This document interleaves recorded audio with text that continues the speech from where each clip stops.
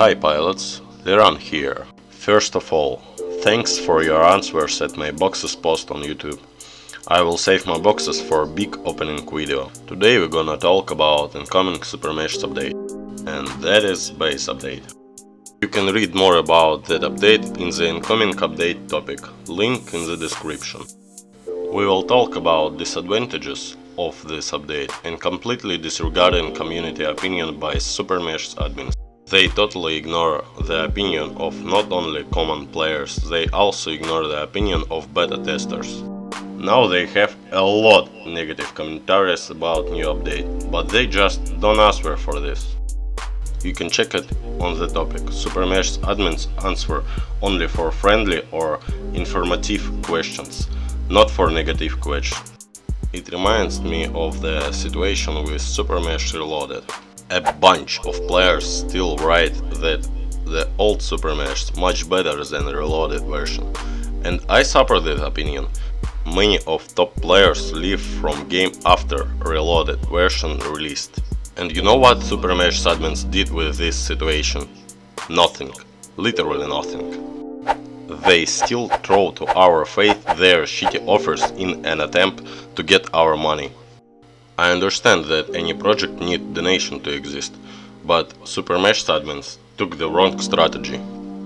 They choose to get donation by pay-to-win players, not from good content supporters. So let's back to base update review. What we will got in this update? At the start you have choice enable or disable this update. Just disable it. Now you will understand why. First, you will lose possibility to buy silver boxes. That is so bad, because players now use silver boxes to get items to upgrade their mechs. Second, you need to spend a lot of time and gold to upgrade your base. Third, now epic items will cost for you 200,000 gold. Now you can just buy silver box for 32,000 gold and get epic item with some chance. But as I said before, if you will enable base you lost possibility to buy silver boxes. Fourth, upgrading will be much slower. If now you can just get money from big boy missions and spend it for silver boxes, after base update you need to wait when your items will be done. Fifth, a new wave of negativity towards the game. I think a lot of players will enable this shit, but when they will be disappointed in this update, they will hate game this update and admins specially. In conclusion I can say to SuperMechs admins, just listen to players' opinion. They makes your game popular and give you money by donation and advertising views. Without players your game is nothing.